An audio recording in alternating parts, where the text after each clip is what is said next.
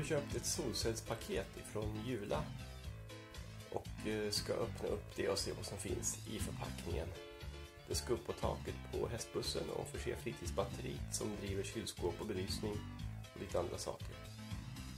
Vi får se vad som eh, finns i paketet och vad vi behöver komplettera med helt enkelt. Jag har sett en del kommentarer som säger att det fattas eh, säkringshållare och eh, kabelgenomföringar och sånt som gör vattentätt.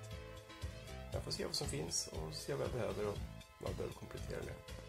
Och så fortsätter vi filmen sen med eh, montering på taket.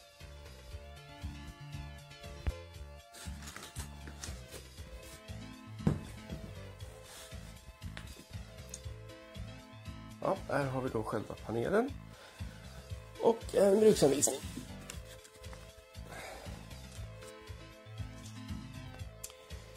Någonting som jag saknade i både eh, deras app och information på hemsidan var ju storleken på, på själva solpanelen. det är bra att veta att sätta upp den på en begränsad yta som ett eh, tak på en husbil eller husvagn eller så.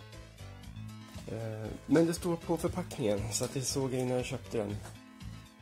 Den är alltså 48 gånger 66,5 cm själva panelen. Och sen tillkommer säkert lite plats för eh, fästena i hörnen.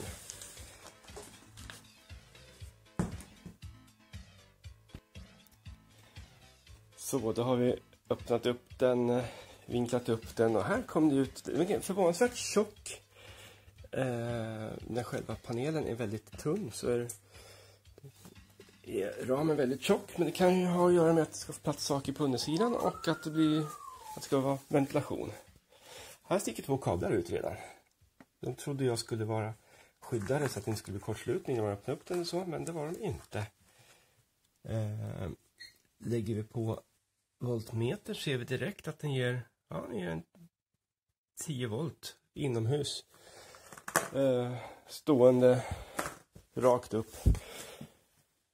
Ja, det, är, det är imponerande tycker jag.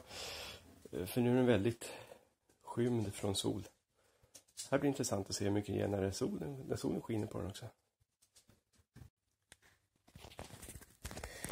Eh, längden på kabeln från eh, från panelen är lite knappt en meter. Typ 97 centimeter.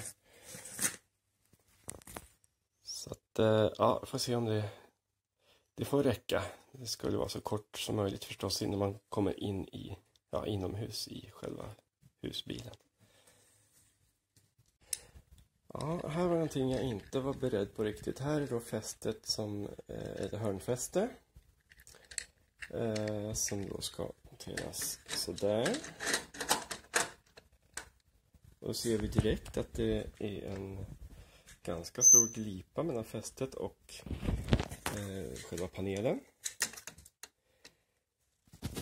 Men det kanske inte gör någonting då man ska skruva i skruvarna här. Bara att de, när de bottnar i panelen så kommer de sticka upp en halv centimeter. Um, om man inte drar skruvarna så hårt så att de går igenom aluminiumet i, i sargen. Men det tror jag inte man vill göra. Så det här ser inte riktigt bra ut. Antingen får jag köpa lite kortare skruvar och så får jag leva med att de sticker upp lite grann. Inte särskilt snyggt. Jag tycker det här var en liten, liten miss. kabeln mellan batteriet och eh, laddningsregulatorn är tre meter lång. Och de här klämmorna kommer jag byta ut till någonting som jag skruvar fast i batteriet. Det, det är väl en sak som är säker. Utrymmet under panelen för att få plats med till exempel kabelgenomföring är 2,5 cm. Det kan vara bra att veta om eh, om när man sätter kabelgenomföringen i skydd panelen under. Ja, som kommenterats tidigare så fattas det faktiskt eh, någon typ av strömbrytare som det står i installationsanvisningen att det ska sitta mellan panel och laddregulator.